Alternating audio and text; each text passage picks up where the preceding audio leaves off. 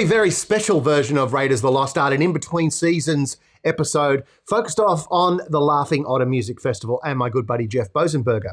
Um, I wanted to do this just purely because even though we're between seasons, I really want to highlight um, what Jeff was doing with this festival. Um, you know, he's moved from the corporate world, being a CEO of a number of companies, traveling internationally all over the world, and then basically through the pandemic, really rekindling his passion for music and trying to create a music festival that does good for the whole world and for those involved.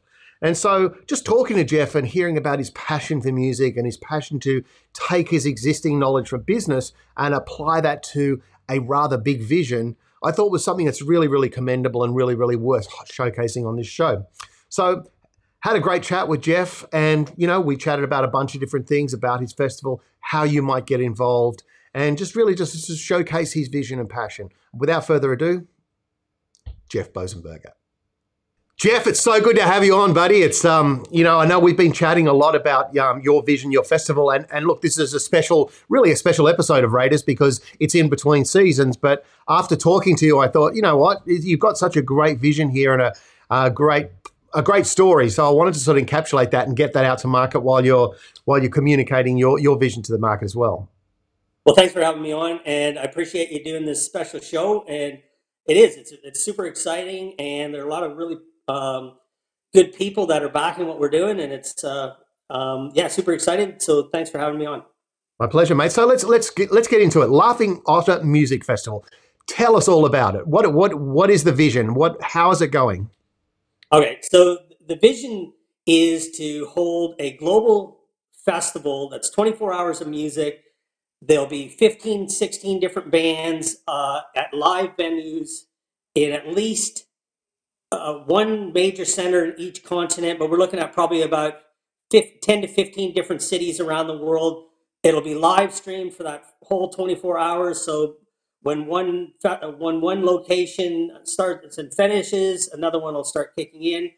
Um, yeah, and, and the whole idea is to create this massive movement around music to raise money for and awareness for children in need all over the world.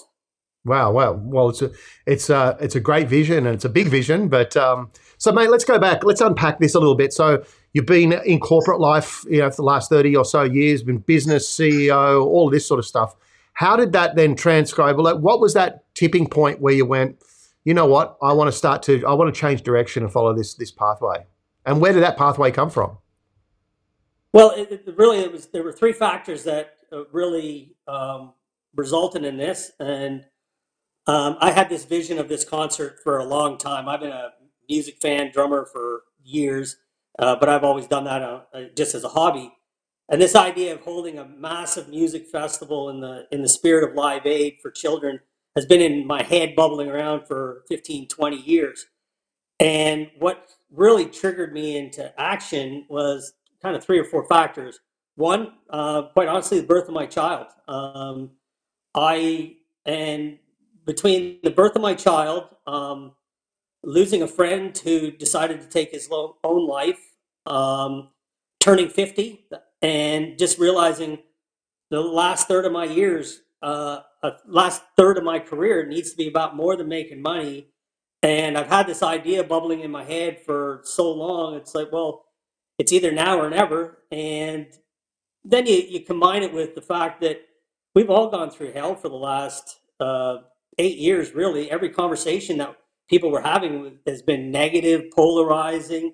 Uh, it's not a political statement, it's just the way it's been. And then you layer COVID on top for the last two years, and we all need a reason to celebrate, a, a reason to come together. And having a massive music festival in uh, and uh, supporting children around the world and giving them a fair start in life. It just seems like the right thing to do right now. Well, mate, it's a it's a great vision. So, so tell me. So, I know it's a big vision. I know you're working with teams across the world. I know you've you, have you you've got a lot of balls in the air. But um, so tell me about how people might want to get involved. Your Kickstarter. What are what are the action plans you're doing right now to take turn this into a reality? All right. So the the, the I'm having a lot of conversations with artists and with the, with the music industry and, and people like yourself who are well connected in the in the industry. And there's a lot of um, excitement and buzz go, uh, that's being created because, well, quite frankly, helping kids through music, that's not a hard sell. We, we want to do this, and it, the timing's right. Um, and so, what we're doing as a first step is a Kickstarter campaign to generate the initial momentum and to do uh, really some market research and some data analysis of where the interest is, uh, where it makes the most sense to, to hold the live events. So if people can jump on Kickstarter, they look for the Laughing Otter Music Festival and get a ticket or support in any way you can and help this movement uh, just get rolling.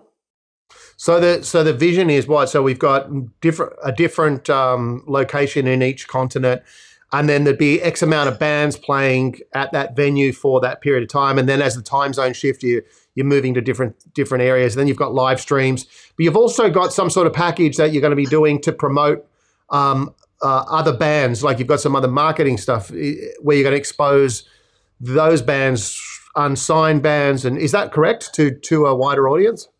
Yeah, that's great. And being that we're all musicians and um, you know closet uh, musicians and big music fans, we came up with this idea called the Festival 500. Now, this is going to be a collection of 500 bands. We're capping it off at 500 so that everybody will get lots of visibility. Now, it doesn't promise that you're necessarily going to play, although we are going to choose at least one band from the Festival 500 for each of the locations. But what you will get as an up and coming band that's trying to cut through the noise and get heard, you will be one of only 500. You will be promoted globally. The, the, the goal is to have the Festival 500 become sort of an entity of themselves that is attached to the festival so that all of these like these 500 bands who jump on board early will be able to ride the wave and the PR of a festival of this magnitude and the the vision of helping kids that's already starting to get some really positive messages. Um, just today there was a, an article released in uh, an irish newspaper in, in, new york that just uh, was commenting on on what we're doing and um, because it was an irish paper they they linked it into what bob geldof did uh, 30 some odd years ago. So for new bands there's a real opportunity to to get involved early and become a, a part of this festival 500 now we're not we're not uh, dissecting by genre so doesn't matter what genre you are like um, you and i are both big music fans. If you look at my spotify list it goes from everything from pantera to the chicks uh, to abba to slayer to to rush and everything in between. So i don't think music I don't think it's judging doesn't know service. So we're not doing that. We're to first 500 and let the fans decide if, if they like it or not. Well, mate, that's that's pretty amazing. You know, I'm, I'm probably one of the only people I know that doesn't actually have Spotify because people keep sending me Spotify links, and I'm like, oh, I don't even have an account. But but um but no, but I I, I can imagine. I, I, know what you mean about a, a, varied sort of taste. I've got a wide and varied, eclectic taste from opera to metal to prog rock to techno. So yeah, so okay, well look, that sounds that sounds amazing. And I know from talking to you, you've got you're in conversations with you know festival organizers, insurance people, you know, uh, flights, production. So it's it's um it's quite exciting and it's a, it's quite an amazing undertaking you're taking. And um you know, look, I I thought. I just wanted to give a bit of a spotlight to what you're doing, at least on this little small um, segment here, just to sort of introduce you to my audience and to just to give some awareness, but also so so you know us musicians and artists can come together and you might be able to give a voice to it. I think it's a pretty amazing uh, undertaking, at least that you that you're doing and taking all your corporate knowledge and your skills and networks and bringing that into into something like this. It's a great undertaking. Thanks. Yeah, no, it, it, it it's it's it's so much fun to be uh, promoting this. Well, I get I get to talk music and helping kids all day. That's what I do, and meeting people who share that vision is is super exciting. Um, it is it is early days. The Kickstarter is really designed to give a lot of of insight on how it needs to unfold. And you're right. I'm having conversations with some of the biggest players in the industry, but we're all we all we don't want to make a big mistake. We don't want to do this wrong, and that's that's 30 years of business experience. You you do things systematically. You don't you don't jump to point um, point Z when you haven't even got the infrastructure of A and B and C in place. So Hmm. the Kickstarter is allowing me to do that, and then I can have Gives you your market research, your insights. Yeah, I get it. Yeah. and, and and then the conversations with these people who are watching becomes more concrete. It's it's not just an idea anymore. It's um, we, we start putting the, the the the bricks and mortar in place, and So when's to, the uh, when when is your ideal uh, when are you, when's your ideal timing on actually running this festival, Bud? it's the twenty sixth of August, two thousand and twenty three. Um, Right. It's it's a little bit out there, but No, that's you- there's a lot of work to be done between. Yeah. and I and I like I said, I don't want to make a mistake. I don't want to do what the Fyre Festival guys did. I don't Yeah. want to promise people things I can't deliver, and things take time. And I want to build. I want to have the time to build the momentum that this is another Live Aid. This is another better designed Woodstock. This is I, this. The goal is, and everybody involved has the goal that this is going to be this generation's Woodstock or Live Aid. This and you know, 20 months, that's not a lot of time to build the momentum and, and make it as big as possible. Know, Live Aid had 40 percent of the world watched Live Aid, and, and that just started as an idea, and that was pre-internet. Um, We've come a long way since then. So Yeah. Well, mate, it's a it's a great undertaking. Um, what what I'll do is I'm going to put the links um, just below this um, this short little episode here, just to sort of um, just so people know where the Kickstarter is and know how to get in contact with you. Um, you know, if, if anyone who's watching this that feels like they have a any sort of moniker of, of, of capability that they could provide in, in providing any type of uplift to, to, to Jeff here, I'd just suggest you reach out and try and be part of making something, uh, you know, really, really special. And look, I'm, I'm certainly a supporter of it. And, uh, you know, I think that all of us can all sit there and go, oh, you know, this may or may not happen. And oh, let's see what happens. But if we all have a can do attitude and get behind some of these things, these big visions, that's how they they come to reality. So you know, I just encourage everyone to to to try and be part of um, of something that's going to provide value to anyone, everyone. Yeah. Yeah, well, thanks for that. And uh, we're looking for ambassadors too who just want to get behind it and be a part of something.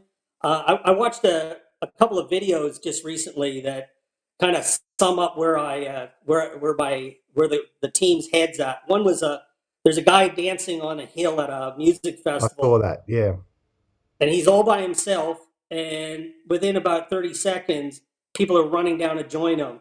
And that's all it takes in these things. And the other one is i watched a video of rage against the machine playing at a county fair when nobody's watching them they're playing killing in the name of.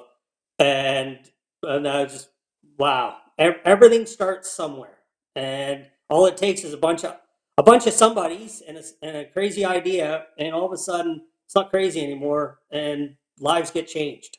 Well, mate, this whole series, Raiders of the Lost Art, are about those guys and the people who have got that passion, who are the outliers, the thinkers of different, the people who, who understand active listening and creativity and innovation and business enterprise, and synthesize that all into to you know uh, into new value. So you know, I, I thank you for your time, and and you know, let's let's hope we can all get behind this and get this to a place where it provides the value that you see and then the world sees. So thanks so much for your time, buddy. And um, you know, we'll package this up and get it out shortly. And uh, I'll I'll have the links on the uh, underneath the video here on YouTube. So anyone that wants to get in contact with Jeff, you'll be able to. And don't forget, hit the Kickstarter, get behind.